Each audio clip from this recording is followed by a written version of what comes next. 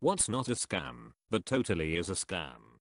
Cable TV prices, they don't need to charge that much they're just greedy.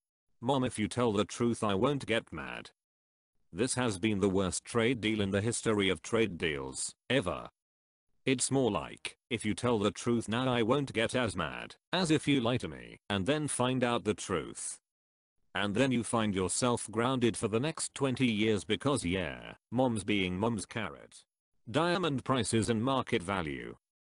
De Beers. People don't really care if a diamond is real or man-made anymore, so RIP to that old industry. And good for that too, because blood diamonds were a atrocious thing. Moissanite's prettier anyway. I'm really hoping moissanite will become the new diamond, just to stick it to De Beers. Yeah and stop funding paramilitary private parties. Microtransactions in video games.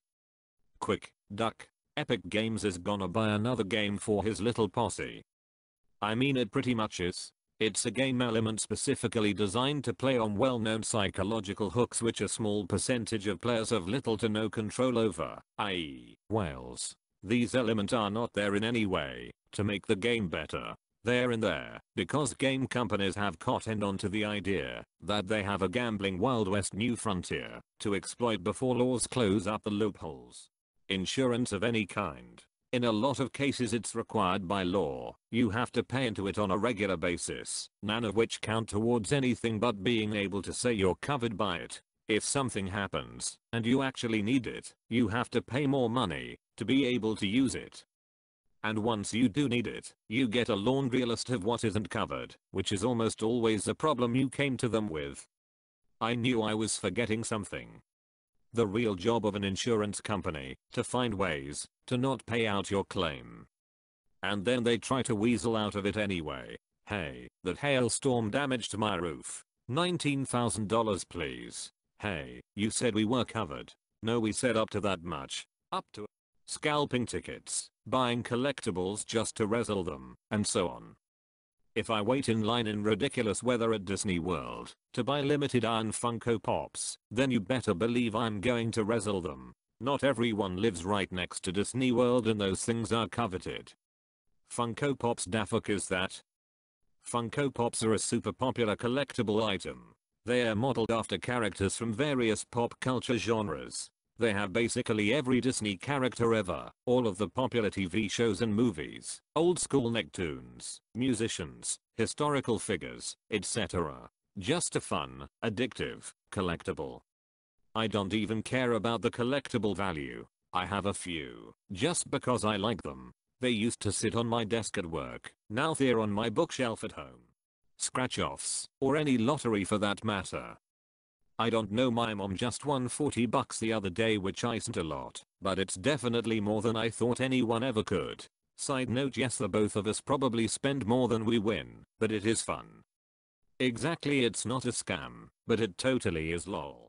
Mfing timeshares. I have had three dumb friends over the last 20 years get into something over their heads. Only one got out.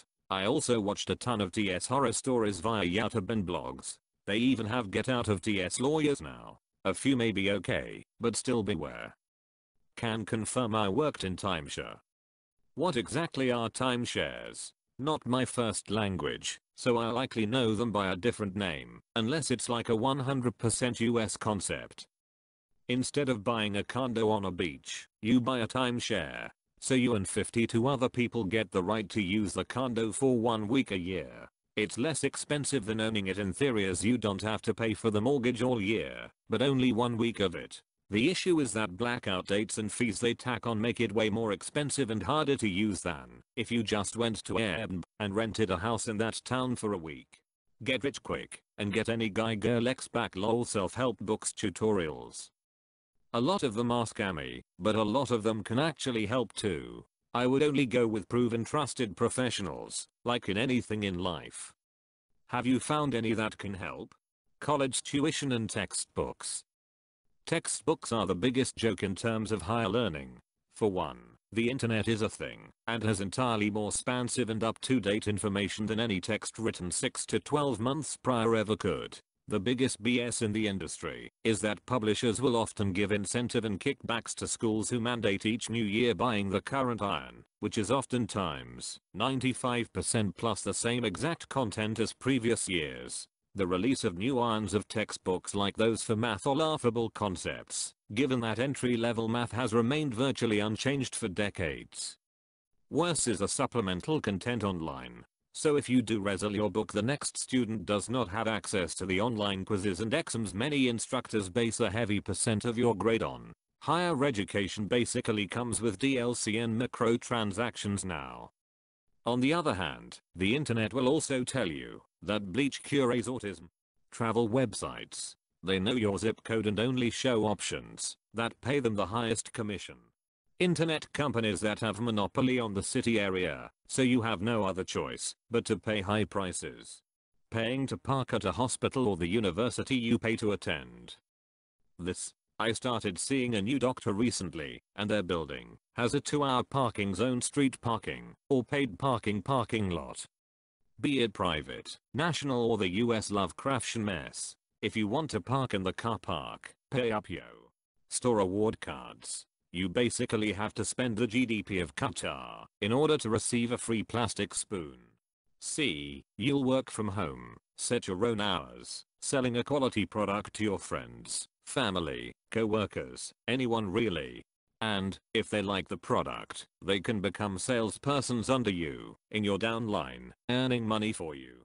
Branding DSL as fiber optic I sold AT&T and other telecom internet services via a third-party company 1.5 megabits per second is branded as AT&T Uverse. They were allowed to call it fiber because it was fiber to the node. Multi-level marketing companies like Amway and Rodan Fields. Those DNA ancestry tests like 23andMe.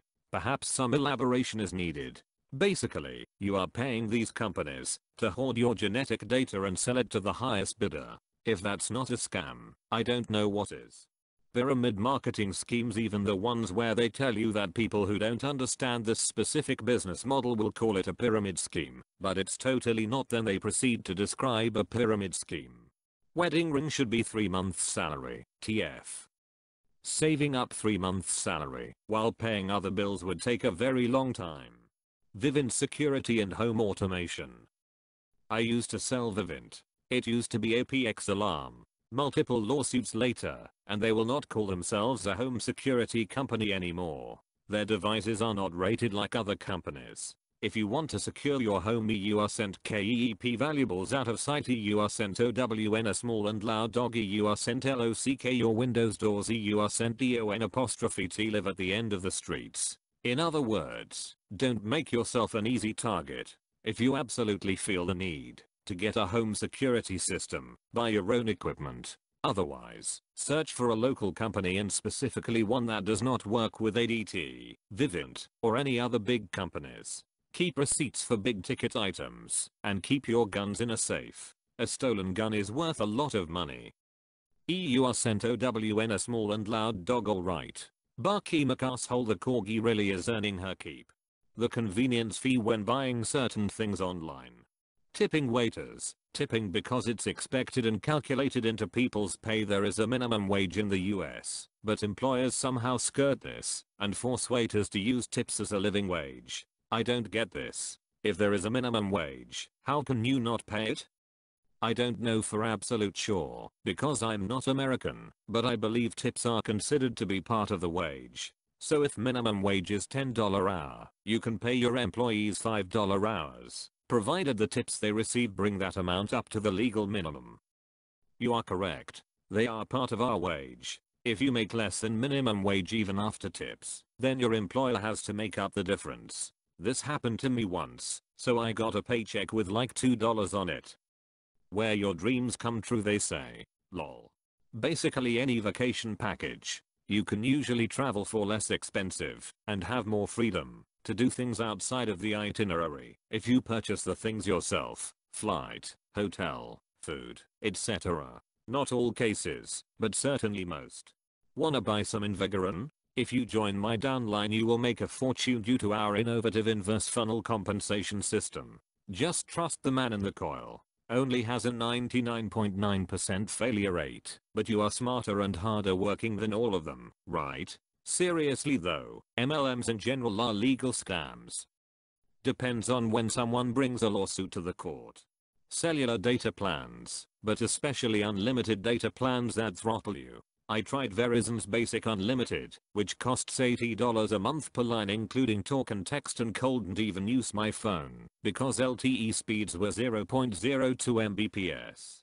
Me once I'm 18 I don't have to listen to my parents anymore. Jim Gym memberships so go all the time and it's a great deal, but if everyone went all the time, they'd go broke, but they don't, because most people never go. Avocados and lottery tickets, both have a fixed cost and an unknown ROI.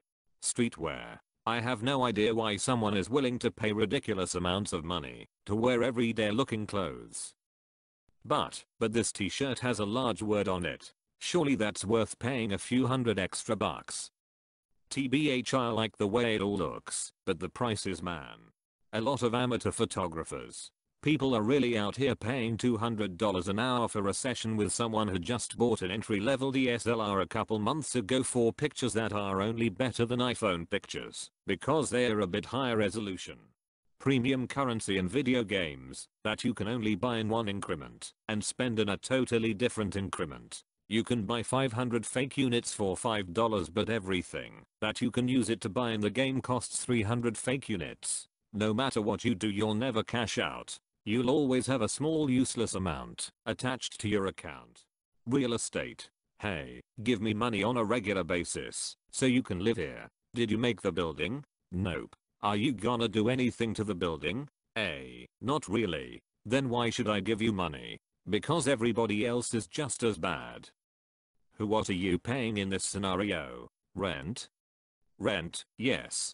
But the same could be said for mortgages. This is a basis of ownership in a capitalist economy. Seems scammy, but is grounded in reasonable principles. True. Same with basically everything else in this thread. Scientific research articles. My college has a lot of subscriptions to different sites. When I got home IEEE Xplore wanted like $15 for 7 pages in an analysis of the current panorama of data science. You can also email the author and they are typically happy to provide you a copy for free. A lot of charity unfortunately, some part of donations go to the cause. Many people make a lot of money from charity. I worked for a charity call center and got 25, 30% Aprex of everything I brought in. Hallmark cards or similar greeting card things. Gym membership. You'll spend a few hours at the gym and many hours feeling guilty for not going to the gym. Printers, they sell for pretty cheap, but break after a year or two. Also, the ink is extremely overpriced, but there's no way around the cost of it. Laser printers work like a charm if you don't care much about color printing. I've had one for like 5 years and still on the original toner cartridge. I don't print much though. Batteries have an absurdly high markup. Suburbia living in Thubydia that kids need to be raised with space around. People move far then get dependent on cars, so they get nicer and nicer ones and chase nicer jobs to have nicer cars and things in their houses because it's the only entertainment in their isolated suburbs. Not all suburbs are like that mind you, but way I I I too many are. And they promote a point way of living that is just a dog chasing its tail. If you or a loved one has been diagnosed with mesothelioma. Free shipping with Amazon Prime in the US Prime includes a bunch of other stuff, but there are still countries where Prime is basically nothing but free shipping for an annual fee. Not really a scam. It's not free shipping it's unlimited 2 day shipping. In the US we had Prime before all the bells and whistles, when it was just unlimited 2 day, because we ordered enough stuff $99 a year was cheaper than the regular shipping. Gift cards. So many go unused. Revenue received and no goods services rendered. Everyone here saying taxes, and I want to differentiate and saying come taxes. The more you work and earn, the more you pay, so productivity equals punishment. Consumption taxes should be the thing. Value added taxes, maybe, but tax me for doing what humans naturally do think and work, but send me a check if I don't work. Scam. The problem with sales consumption tax is it hits those who can't afford it harder than those who can. We can accept that there's a certain minimum cost needed to live. If your income is near that level, sales tax is basically a flat increase in taxes when you're at a point that it's borderline crippling. Here are some warning signs that an online love interest might be a fake. They ask you to chat off of the dating site immediately using personal email, text, or phone wire money using Western Union or MoneyGram set up a new bank account. Multi-level marketing equals pyramid scheme I did the research looked up the definitions and there is no difference it's all semantics. Games as a service. I'm with Ross Scott on this one. Printer ink, cheap to make expensive to buy. Liberal arts degrees, maybe it's legitimated a scam though. Dental insurance, most of the time you're better off just paying out of pocket. Honey, that app that allows you to collect coupon codes. I haven't used it personally, but from what I've seen I'm fairly certain that it could steal your CR card information without you knowing. Acupuncture. It's just needles randomly put in you. It's not ancient magic Chinese healing. It's the same as if I gave you sugar pills and told you they were magical. Weddings. Marketing and media have told us we need extravagant weddings. Add in the cost of stuff triples if they know it's for a wedding 50k on a tacky 3 hour party or a down payment on a new house or savings. Tough choice. Acupuncture works for certain things. It sure isn't a cure all, but it can do things for pain. Basically you're playing nerves like a guitar to create a specific response. The best description I've heard it's it didn't do anything directly, but it does trigger the brain telling glands to do things to basically not really reduce pain, but for a while, increase your pain threshold, and make it more bearable my wife says it's soothing the same way a massage is, and they changed it up when she was pregnant to help her with just the general pains of that, and it brought her some relief. Watching a show, being entertained by it, even though it's totally staged, and you know it. Uber Eats, how does one meal from Sonic cost $16? Without tipping my driver? I used it once, when I wanted McDonald's and the only vehicle available was my semi. Wasn't about to take that to McDonald's, so I did Uber Eats. $17 for a 2 cheeseburger meal until tip. No thanks. It's definitely not worth it on something dinky. We used Grubhub for the first time last night because someone gave us a $50 gift card for it. It's questionably expensive got a normal takeout, but got fast food. Utterly insane.